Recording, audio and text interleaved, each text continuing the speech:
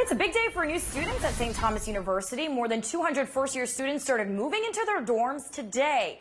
In an effort to keep everyone safe, the university offered a pop up vaccination site in hopes of getting more students and staff vaccinated.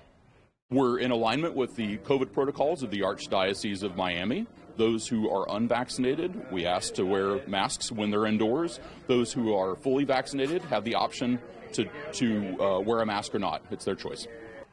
Now, the university is going on the honor system and is hoping everyone will be truthful about their current vaccine status. Vaccinated students do not have to wear a mask indoors, but unvaccinated students are required to cover up. St. Thomas University is expecting more than 800 new students this semester. And that's going to do it for Local 10 News at 5:30. It's time now for the news at 6.